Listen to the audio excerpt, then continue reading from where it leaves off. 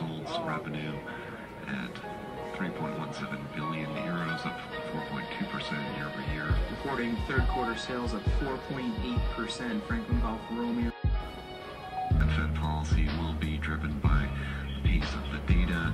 Same policy will remain accommodative Futures off concessions low, still down about a percent on the day for a little more than four pennies.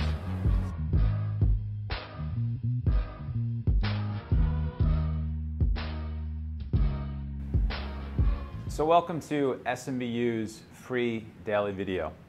For our first video, what I thought I would do is give you a slice of a presentation that I did in Coronado, California at Stocktoberfest for StockTwits. There's this big event that StockTwits holds every year in the hometown of the uh, CEO now of StockTwits, or the one of the founders, Howard Lindzon, uh, who's brilliant.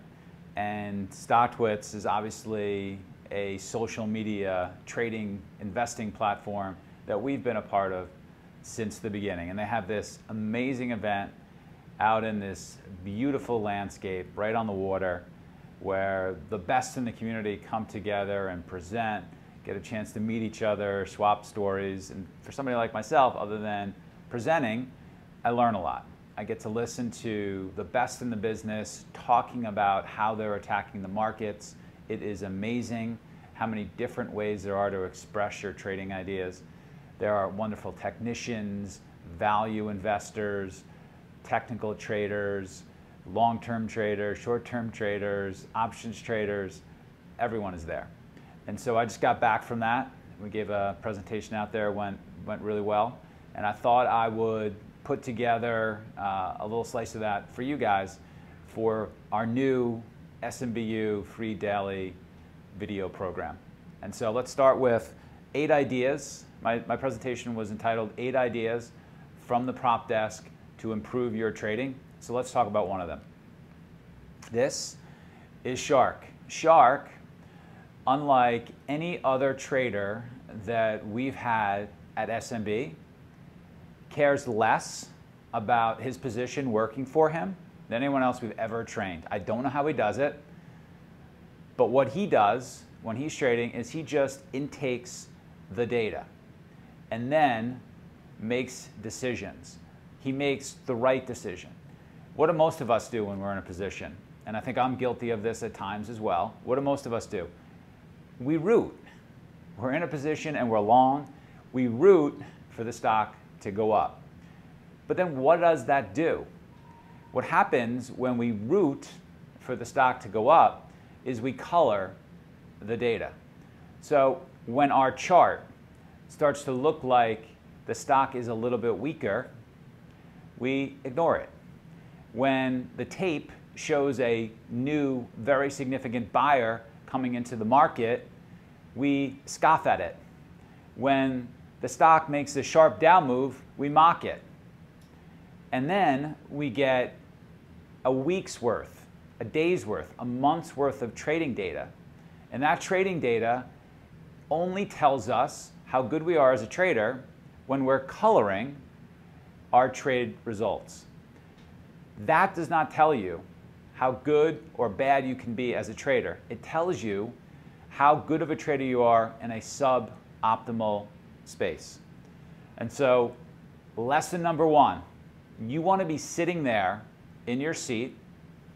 You want to be almost indifferent about whether or not your position is going to work or whether or not it's not going to work. We're going to make plenty of trades in our trading career. There are going to be lots that do not work. But what we have to do is make the right decision. That should be the takeaway from each one of our trades. That should be our goal. My job is to make the right decision. That means not only lightening up when information comes into the marketplace that your position is less likely to work, but adding when information comes into the marketplace that you're probably more right than when you started this position. Think to yourself, be honest. Are you really making the right decision all the time? Or are you rooting when there's evidence you're going to be wrong? And are you a little bit hesitant to add when you should. And then think about what your results really would be if you could sit there and you could be in that state that Shark is, a state of equanimity. That's a great word. A state of equanimity, where you are literally sitting there and just intaking the data and making the right decision. So think about that, try and get to that space. I think that'll help your trading. SMBU is holding a three day in house earnings season trading session November 5th through November 7th. Hopefully, you get the chance to be in the area and come join us to work on your game of improving your earnings season trading. We're going to try and accomplish four things. One, get you into better stocks. As I wrote in One Good Trade, you're only as good as the stocks you trade. Let's get better at your stock selection to improve your trading during earnings season. Second, trading the right setups. You need to trade the right stocks and the right setups. We will, during this training session, we will point out setups that offer the best risk reward. Setups where you have the best risk reward, where you don't have to trade in and out of those positions as much as other trades, where your gains versus your losses will be quite significant, where stocks tend to be cleaner and trend for an extended period of time. Right stocks and right setups. Third, we want to help you improve your process. Make sure that you don't miss any of the best setups, miss any of the best stocks. Make sure you understand how to review the best setups and the right stocks so you can internalize those setups so you, when you see them again, you trade them bigger and better. Process is incredibly important to improving as a trader. And then finally, we want to improve these skills so that every single earning season for the rest of your trading career, you are better. So you can take advantage of the increased opportunities that occur during earning season. That's what we will accomplish together. We really hope to see you in-house for this training program.